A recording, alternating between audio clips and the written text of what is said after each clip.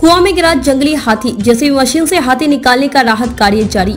झारखंड राज्य के रामगढ़ में जंगली हाथियों का आतंक काफ़ी जारी है। जंगली हाथी लगातार ग्रामीणों की फ़सल को बर्बाद कर रहे हैं, जिससे किसानों का भारी नुकसान हो रहा है। बीती रात जंगली हाथियों का एक झुंड गोला के संग्रामपुर स्थित बुंडू गाँव की तरफ़ हाथियों का झुंड ने किसानों का फ़सल को बर्बाद किया।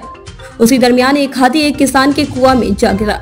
हाथियों का झुंड अपने साथी को बचाने के लिए गर्जन शुरू किए। स्थानीय ग्रामीण वहाँ पहुँच इसकी तत्काल सूचना वन विभाग को दिया। वन विभाग की टीम और ग्रामीणों के द्वारा जेसीबी के माध्यम से मिट्टी को निकालकर हाथी को निकालने का कार्य किया जा रहा है।